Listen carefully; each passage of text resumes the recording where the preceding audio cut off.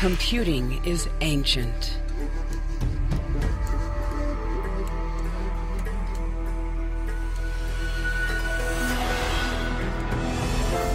Computing is modern. It's how we work, get news, manage finances.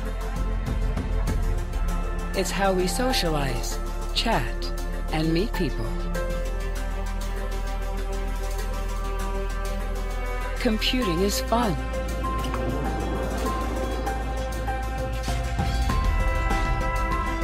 And fundamental to our daily lives. In the Industrial Revolution, we invented machines to amplify the ability of the human body.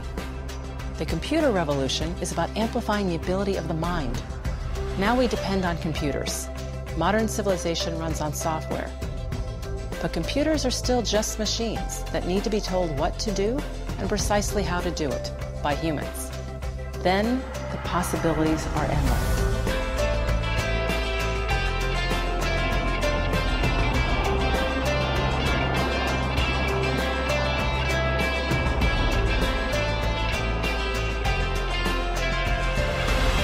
Computers give us unprecedented freedom to share our best and worst. All that's good about humanity, some it isn't.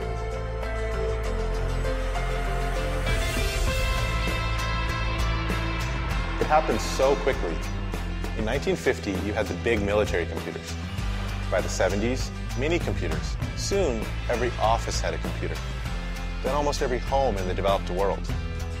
Now, nearly everyone uses multiple computers, from the one on the desktop, to the one on the phone, to the one in the traffic light in the corner. During my lifetime alone, we've witnessed growth that's unparalleled and unprecedented. And it's not over. We're in the midst of new developments. Exciting events are yet to come.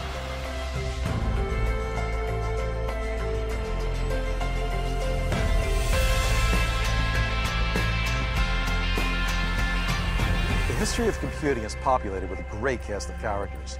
Some truly phenomenal minds, obviously, but also rebels, idealists, dreamers who were ahead of their time, wealthy venture capitalists, quirky geniuses, scoundrels, and fanatics. A few rare individuals with the ability and luck who could bring all the pieces together at the right time and actually get products to market. The history of computers is an absolute treasure trove of true stories. Many largely untold before now. There's wisdom and inspiration, and a few cautionary tales too. The objects in the exhibit aren't just artifacts or memorabilia. They capture moments when ordinary people did something extraordinary that impacts our lives every day.